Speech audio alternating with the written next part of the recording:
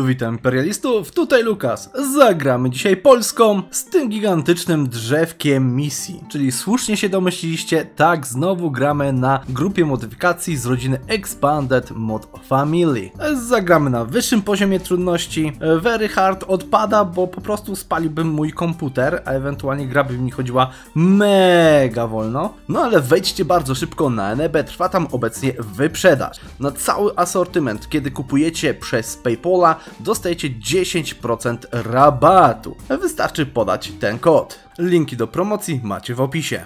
Początkowo nie mamy za dużo do roboty. Mamy okres bez królewia, bo nasz wspaniały władca wziął i utopił się w rzece. Chociaż możliwe, że w naszych misjach będziemy mieli okazję do zemszczenia się. Na rywali raczej bierzemy standardowe kraje, Węgry, Zakon Krzyżacki, może i Danię, ale dopiero po 30 listopada. Jeżeli chodzi o nasze przywileje, tutaj niestety tylko i wyłącznie mamy standardowe, oprócz Złotej Wolności, z którą też zaczynamy. Czyli po punktach, wziąłem Supremacy over the Crown i następnie wezmę też tańszych doradców w momencie, kiedy ich zatrudnię i podniosę stabilność na plus jeden. Przez większość rozgrywki raczej będę leciał tylko i wyłącznie na tych przywilejach. Gdzieś tam w zamienie możliwe, że też będę brał dodatkowy prestiż oraz pożyczki. Jako Polska nie mamy żadnych tańszych doradców z tego co zauważyłem, więc zatrudnimy jakichś dobrych, ewentualnie tych, których mogę. Tańszych generałów, poprawienie relacji, a nuż nam się przyda w najbliższej przyszłości oraz tańsze podnoszenie stabilności kraju. Dzięki czemu praktycznie powołujemy od razu Radę Królewską. Sojusz z Litwą zawiązujemy, utrzymanie wojska zmniejszamy, mamy kilka lat bez wojen raczej zbliżających się, chyba że nas zaatakują, ale raczej w to wątpię. W sojusznikach tutaj naszych zachodnich raczej będę szukał lepszych relacji z cesarzem Świętego Imperium Rzymskiego, bo możliwe, że będziemy polowali na koronę czeską, ale też możemy mieć problemy, bo pewnie Węgry wejdą jak zwykle w relacje z Austriakami. To jest bardzo częste i myślę, że tym razem zagramy z okazjonalnymi handlowymi jarmarkami. Ostatnio nie miałem wam jak tego pokazać, bo chciałem szybko nagrać odcinek. Tym razem mam na to więcej czasu. Naszych dyplomatów wyślimy oczywiście do Austrii, jak tylko będziemy mogli, oraz do papieża, żeby poprawić z nim relacje. Możemy też wysłać naszych dyplomatów do księstwa mołdawskiego, a nuż będziemy mieli szczęście i kiedy ten kraj będzie decydował o swojej przyszłości, zdecyduje się wpaść pod koronę. Wreszcie polskiej szlachcie udało przekonać się Kazimierza Jagiellona, żeby objął władzę Polsce. Alternatywę wszyscy znamy, ale tym razem jednak chcemy Unii Polsko-Litewskiej. Dlatego teraz, kiedy Wielki Książę Litewski objął władzę w naszym kraju, no niestety zmienia nam się forma rządów i mamy elekcyjną monarchię. Nasz władca będzie wybierany po śmierci naszego obecnego władcy spośród znakomitych rodów europejskich. Oj, i August nie jest dobrym władcą. Na szczęście jest dużo starszy od Kazimierza, więc może gdzieś tam zemrze. Tutaj mała ciekawostka, gdybyśmy nie wzięli Unii Polsko-Litewskiej, misje nasze by się zmieniły.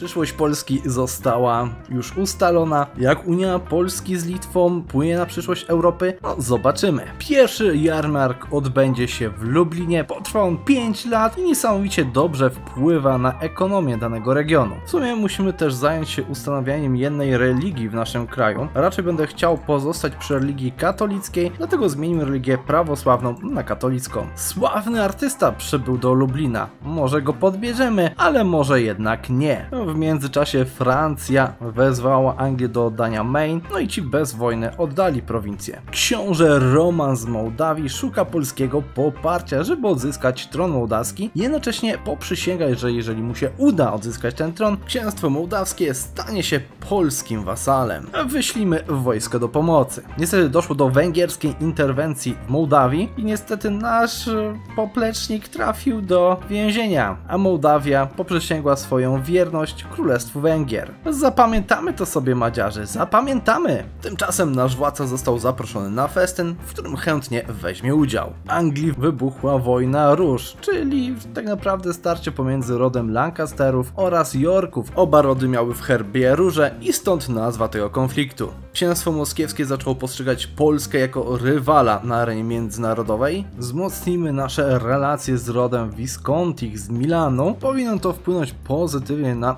rozprzestrzenienie się włoskiej myśli renesansu na terytoriach Rzeczpospolitej. Legat papieski natomiast Polsce przekazał 100 dukatów i obiecał, że jeżeli będziemy toczyli wojnę w przyszłości z Tatarami, zostaniemy wsparci finansowo przez papiestwo. U, wróżenie z rąk? Co nam się okaże. No i niestety, przepowiedziano nam niezbyt korzystną przyszłość i plotka o tym rozniosła się praktycznie po całym królestwie. Korporacja Mazowsza? Oczywiście, czemu nie? Myślę, że raczej nie będą za bardzo wściekli za oddanie nam dwóch prowincji. Niestety na Litwie wybuchł bunt przeciwko polskiej koronie. Nie możemy na to pozwolić, więc ruszamy, żeby rozbić tych buntowników. A w zasadzie to musimy wesprzeć wojska litewskie, bo widzę, że to niestety one stoczą pierwszy bój rozbici. No i pięknie, renesans się pojawił, a dzięki temu, że mamy zacieśnione relacje z dynastią Visconti, on również w Krakowie jest rozprzestrzeniany przez tamtejszą szlachtę. Jednocześnie Kraków stał się prawdziwą perłą w polskiej koronie. Pierwsza reforma rządowa. Mamy w czym wybierać, ale myślę, że skupimy się na poprawieniu relacji z magnaterią. Dlaczego? No, zapewni nam to napływ żołnierzy od nich oraz spowoduje, że będziemy mieli stabilność stabilniejszy kraj, a to dzięki temu przywilejowi. Nie mamy też rozwiniętych za bardzo jeszcze miast, więc przywilej dla mieszczan nie miałby teraz jeszcze sensu. Nadszedł czas wyboru idei. Co prawda w ankiecie, z tego co zauważyłem, wygrały misje, potem ewidentnie chcecie, żebym zagrał Toll jakimś krajem. Myślę, że jednak to rozwiązanie zostaje sobie do grania jakimś innym krajem, a tutaj zagram pod misję, może też bardziej tak RP, zresztą jak zauważyliście, bądź też i nie, troszeczkę inaczej prowadzę narrację w tym odcinku. Jeżeli się wam to podobało, to pamiętajcie, żeby zostawić lajka i dać mi i znać w komentarzu. Nasz władca jest zdecydowanie uczonym,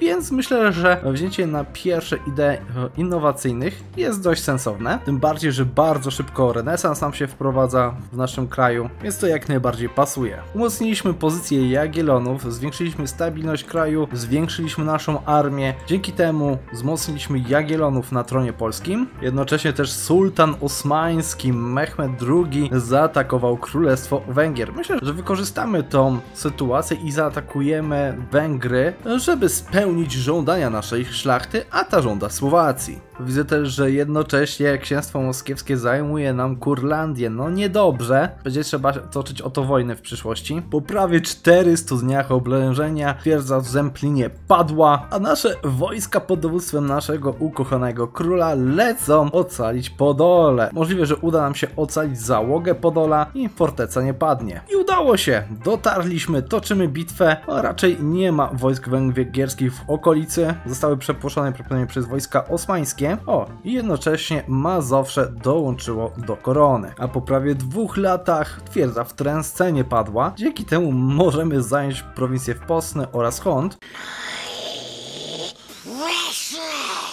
Pod Połtawą wraz z wojskami sułtana rozbijamy wojska węgierskie. No przynajmniej mam nadzieję, że je rozbijemy. No nie do końca, ale dzięki temu, że księstwo mazowieckie zostało dołączone do korony, mamy zjednoczoną Polskę, co wpływa pozytywnie na stabilność naszego kraju, jak i rozwój tego regionu. A za to Kazimierzowi udało dopaść się pod Smoleńskiem resztę wojsk węgierskich, które już były nawet pozbawione dowództwa. Ale jeszcze ich nie rozbiliśmy. Wojna z Węgrami zakończyła się całkowitym zwycięstwem Polski, zdobywamy całą Słowaczyznę, troszeczkę pieniędzy na pokrycie kosztów wojny oraz wymuszamy reparacje wojenne od Węgier. Kosztowało to niestety troszeczkę naszej ludności, no ale też nie był to jakiś koszt za duży. O nie? Cóż to powstało? Wolne miasto Gdańsk! Tak, podprzemy te dążenia niepodległościowe, tym bardziej, że w przyszłości możemy zyskać dzięki temu niezłe wpływy. Jak podejrzewałem, wciągnęło nas to wojnę z z zakonem krzyżackim, no ale pamiętamy, pamiętamy, że już raz nas zdradzili ci zakonnicy, a teraz nadszedł czas na polską zemstę. Tylko Słowację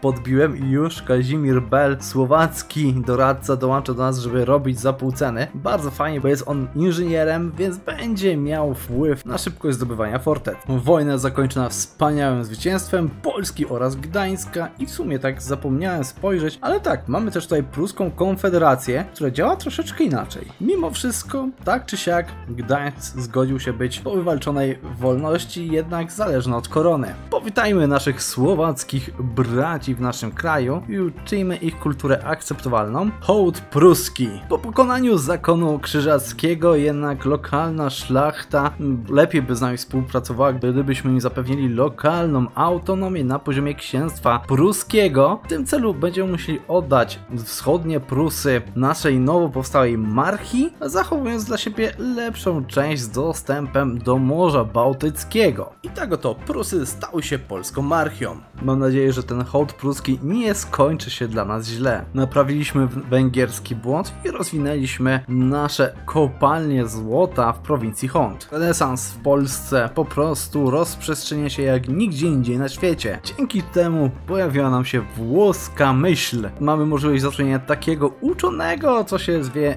Mikołaj Kopernik. Nie wiem, czego nie słyszeliście. Styl renesansu rozprzestrzenia się w naszych prowincjach. Habsburgowie poprosili dom Jagiellonów, żeby wsparli ich w wojnie z Wenecją. No, w sumie rzeczy mogłem to uczynić, więc dlaczegoż by nie. Wcześniej Polska staje się coraz bardziej kwitnącym handlowo krajem, dlatego jesteśmy zmuszeni rozbudować nasze ryneczki w miastach. Jako, że handel coraz bardziej zyskuje na znaczeniu dla naszej gospodarki, myślę, że wzmocnimy prawa magdeburskie dla miast. Wpłynie to pozytywnie na ich przyszły rozwój oraz na produkcję dóbr w tych miastach. Wystarczy, że nadamy dodatkowo większe prawa dla miast, co wpływa nam na możliwość rozwoju tych prowincji nawet przez koronę. No, Austriacy nawet byli wdzięczni za udział w wojnie z Wenecją, a my zacieśnimy po tej wojnie nasze relacje z Burgundią. Wykorzystajmy to, że Austriacy mają wobec nas dług wdzięczności i nie wesprą czeskiego elektora, tak czy siak na początku nasze wojska jednak cofliły z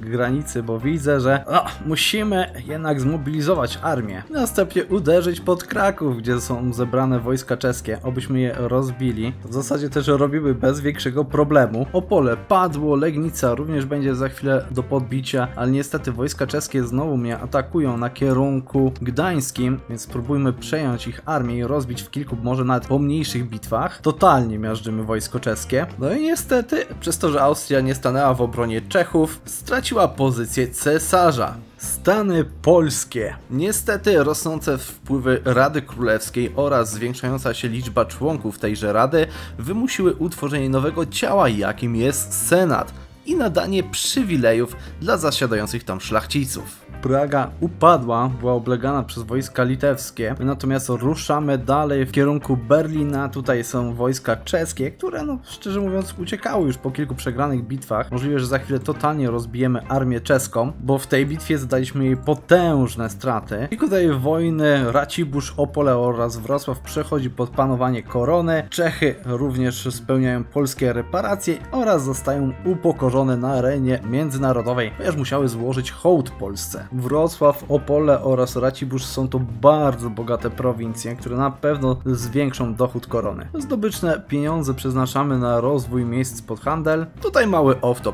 Co to jest to Precious Minerals Income? Czy to jest z tego przywileju?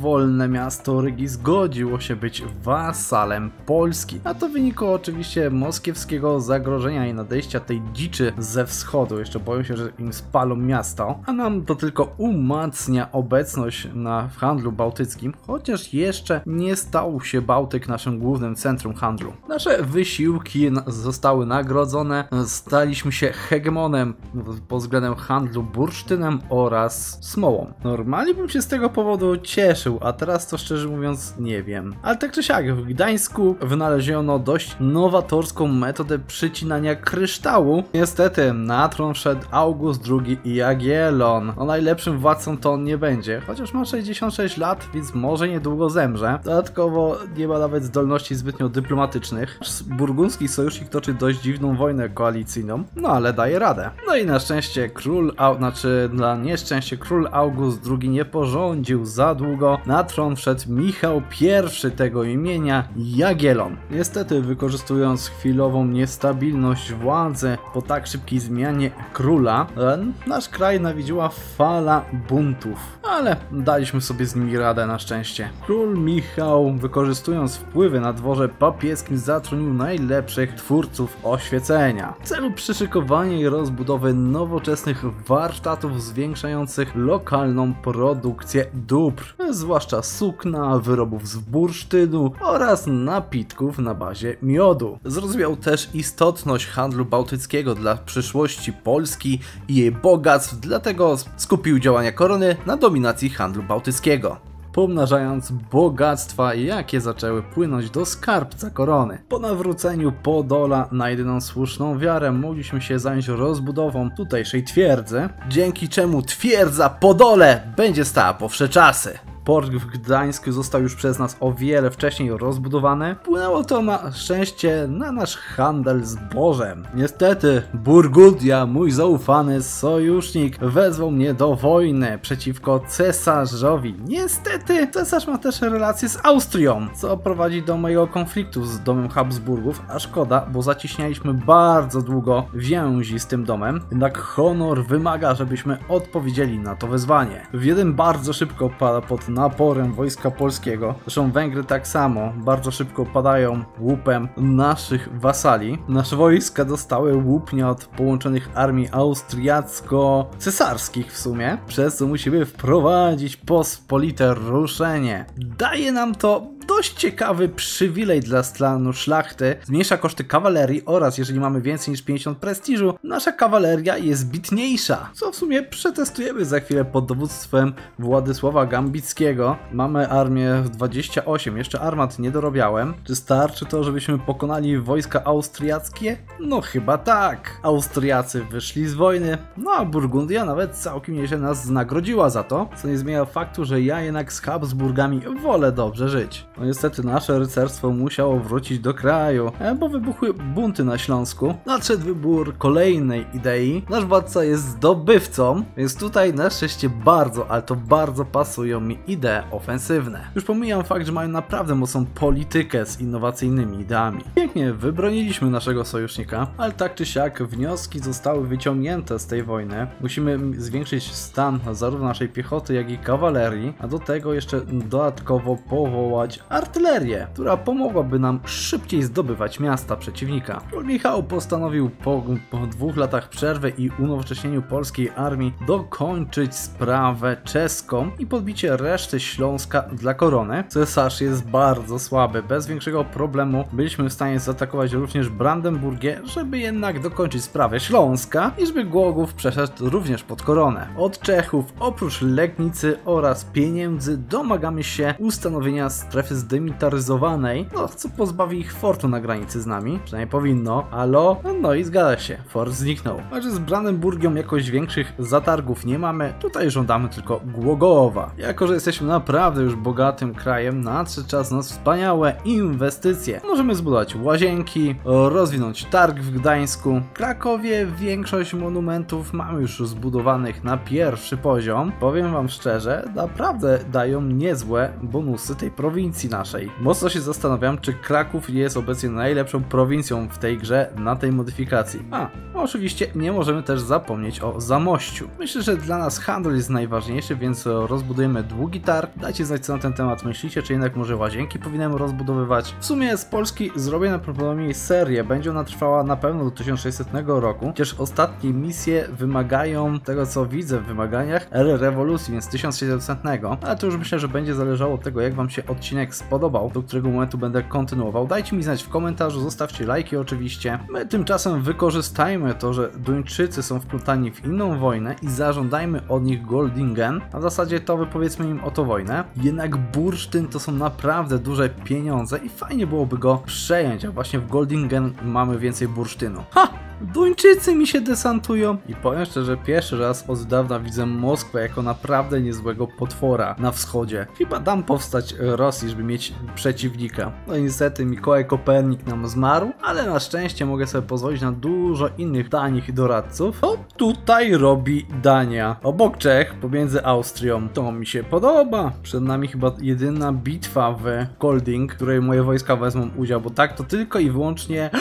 No nie! Statusy Piotrkowa królewskie? Nie, nie teraz. Nie ma szans na to, że ja to wprowadzę. Jednocześnie fest nam się odbywał podczas tej ważnej bitwy, ale nie no, zwoiliśmy Duńczyków. Naprawdę, polska armia niezwyciężona. Opłacało się uczyć języków. No i bierzemy nasze roszczenia terytorialne, wojenne reparacje oraz troszeczkę pieniążków. Dzięki temu zrzuciliśmy Duńczyków z listy najpotężniejszych państw na świecie, a sami zajmujemy obecnie trzecią pozycję. Król Michał okazał się być utalentowanym poliglotą, dzięki czemu rośnie prestiż dynastii Jagiellonów na forach zagranicznych. No ale my już ustanowiliśmy przyczółek na inflantach, nadszedł też czas na konflikt z Moskwą. Nie unikniemy tego, musimy zdobyć Kurlandię dla nas. Może nie dlatego, żeby zdobyć więcej bursztynu, ale po to, żeby wzmocnić nasz handel bałtycki potężna Polska, a co powiecie na potężną Normandię na modyfikacji Antebellum.